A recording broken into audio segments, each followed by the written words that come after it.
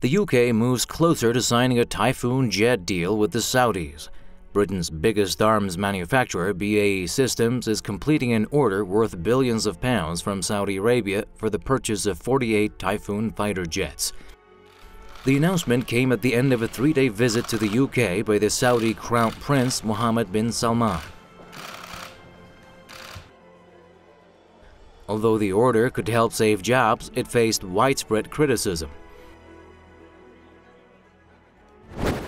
Think that uh, there's a horrific image uh, that is conjured up in my mind when I examine the press and the media coverage of the past few days in terms of the visit of the Saudi uh, family.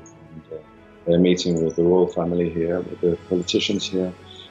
and it's an image of uh, people sitting around the dinner table, eating uh, finest food and drinking the finest drinks and uh, laughing and joking, making deals, whilst uh, in Yemen, the same governments are colluding, the same governments are bombing, killing children, bombing schools, and putting uh, many, many people in Yemen on the brink of starvation. While London is looking for new post Brexit markets, Bin Salman is going to convince investors that his country is a tolerant and modernizing place.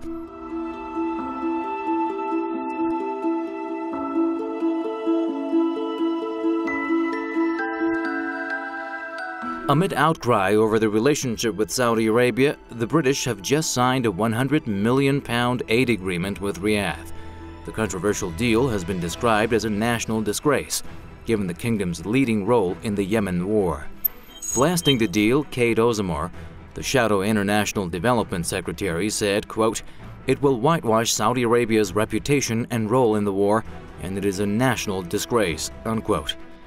Allan Hogarth from Amnesty International UK also voiced concern over the deal. Quote, It is not good enough for the UK to provide humanitarian aid on the one hand and supply the weapons that fuel a humanitarian crisis on the other. Unquote. Critics say by signing agreements with Saudi Arabia, Britain has sided with the country responsible for the world's worst man-made humanitarian crisis. More than 8 million people in Yemen are now in danger of famine. Well, uh, politics can be a, a, very dirty game, we know that. And uh, the politics of this situation is very, very tenuous. Britain uh, is desperate to uh, make uh, everlasting friends with the Saudi regime. It's not just uh, this two billion that's been reported in terms of the arms deal, but it's in terms of all the other deals which are building up and have built up over recent years the decision of uh, the Saudis of where to place the uh, financial uh, holdings of its oil company Aramco, which is going to be decided uh, over the next uh, months, uh, is crucial for Britain to secure. And I think that that's what the cost is of this this relationship with the Saudi regime is for Britain, certainly the politicians, uh, many of them to turn a blind eye to what's happening in the Yemen.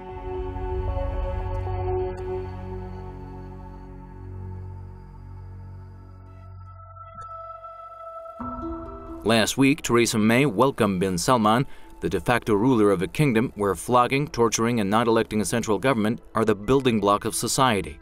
However, keeping the lucrative tie with the very kingdom seems to weigh on May's mind more than anything else. But the question is how far the UK can go in backing the Saudis in the international arena.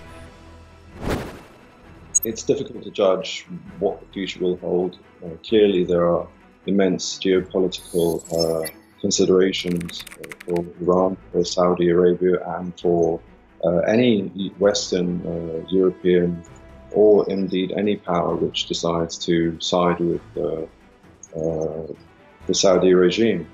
Uh, what's at stake here, more than anything else, is the lives of the Yemeni people.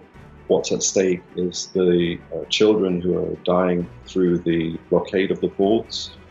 Uh, and what's at stake here is the destruction of many, many lives uh, in Yemen. And that's what needs to be considered above business deals uh, to secure jobs for British workers. There should be no choice between jobs in Britain and lives of Yemeni children.